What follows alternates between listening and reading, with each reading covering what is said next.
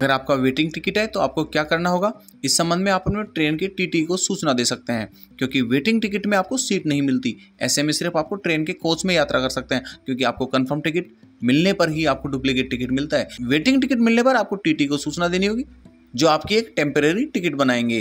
बाकी ट्रेन के खोए हुए टिकट मिलने पर क्या करना होगा, और ट्रेन छूटने के क्या क्या नियम है, अगले वीडियो में चर्चा करेंगे। इसके लिए आप हमें सब्सक्राइब ज़रूर करें।